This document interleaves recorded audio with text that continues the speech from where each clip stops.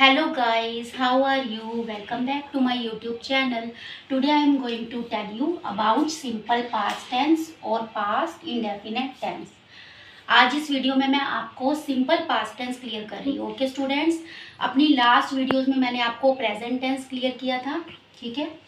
Simple past tense simple past tense का ही other name जो है, वो पास्ट इंडेफिनेट टेंस है। ठीक है? कंफ्यूज मत हो जाना।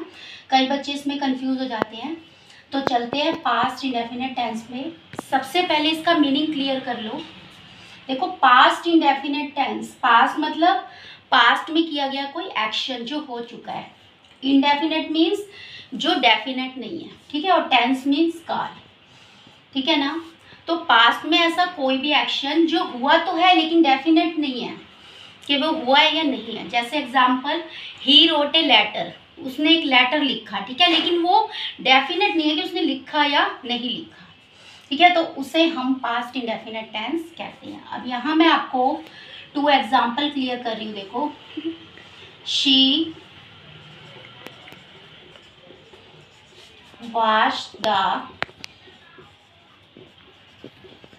क्लोथ्स उसने कपड़े धोए। अब उसने कपड़े धोए तो सही, लेकिन ये डेफिनेट नहीं है कि उसने धोए या नहीं धोए तो इसलिए ये पास्ट इंडेफिनेट टेंस का ही एग्ज़ाम्पल है और पास्ट इंडेफिनेट टेंस का ही other name simple past tense एक एग्ज़ाम्पल और ले लेते हैं।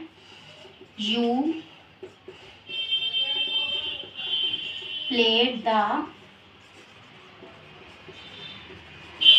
फुटबॉल तुमने फुटबॉल खेली। ठीक है? तो this is also an example of past indefinite tense अब इसमें थ्री टाइप्स के सेंटेंसेस आते हैं। देखो फ़र्स्ट आता है अफर्मेटिव सेंटेंस सेकंड आता है नेगेटिव सेंटेंस और थर्ड आता है इंटेरोगेटिव सेंटेंस ठीक है? तो अफर्मेटिव सेंटेंस का भी मैंने आपको एग्जांपल बताए हैं, ठीक है? तो अफर्मेटिव सेंटेंसेस को हम सिंपल सेंटेंस भी कहते हैं, ठीक है ना? तो ये टू एग्ज़ाम्पल सिंपल सेंटेंस के ही थे जो अभी मैंने आपको क्लियर किए हैं। हम सब्जेक्ट लेते हैं, ठीक है? प्लस वर्ब की second form and plus object. ध्यान रखना कि हम पास्ट इंडेफिनेट टेंस में वर्ब की सेकेंड फॉर्म ही लेते हैं, ठीक है?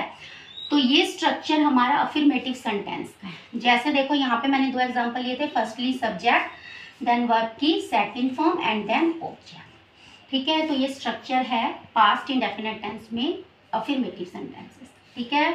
क्लियर है आपको? अब चलते हैं नेगेटिव सेंटेंसेस में। सबसे पहले नेगेटिव सेंटेंसेस का स्ट्रक्चर जो है, वो क्लियर कर लो। फर्स्टली प्लस वर्ब की first form and plus object ये ध्यान रखना कि नेगेटिव सेंटेंसेस में हम वर्ब की फ़र्स्ट फॉर्म यूज़ करते हैं और ऐसे इंटेरोगेटिव सेंटेंसेस में भी हम वर्ब की फ़र्स्ट फॉर्म यूज़ करते हैं। अब इसके भी मैं आपको दो एग्जांपल बता रही हूँ। देखो जैसे ही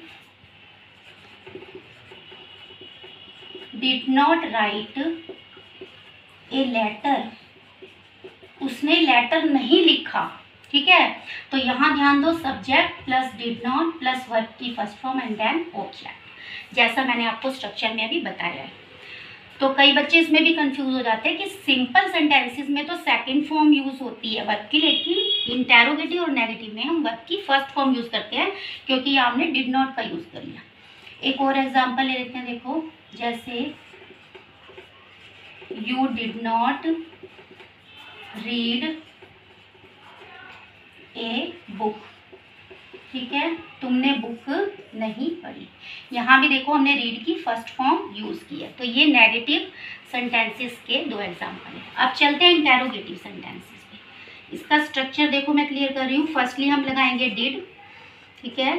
प्लस सब्जेक्ट प्लस अगर हमें नॉट लगाना हो तो। प्लस वर्ब की first form and plus object. अब इसके भी एग्ज़ाम्पल ले लेते हैं। देखो जैसे डिड आई प्ले बैडमिंटन ठीक है? और लास्ट में जो है क्वेश्चन मार्क आएगा, क्योंकि ये इंटेरोगेटिव सेंटेंसेस है, जिसमें हम क्वेश्चन पुट करते हैं। एक और एग्जांपल लेती हूँ जैसे did she not write a book ठीक है? तो इसमें भी आपने नोटिस किया होगा कि डिड के साथ हमने फ़र्स्ट फॉर्म का यूज़ किया है। यहाँ नॉट का यूज़ नहीं है बट यहाँ पे नॉट का यूज़ किया गया है बट लास्ट में हमने इंटेरोगेटिव साइन का यूज़ किया है, ठीक है? तो ये अफर्मेटिव सेंटेंसेस और नेगेटिव और इंटेरोगेटिव मैंने आपको क्लियर कर दिए और ये सिंपल पास्ट टेंस के रूल्स भी मैंने आपको बता दिया आई होप आपको अच्छे से समझ आ गए होंगे। अगर ये वीडियो अच्छी लगी तो प्लीज़ लाइक शेयर कमेंट करना ना भूलें।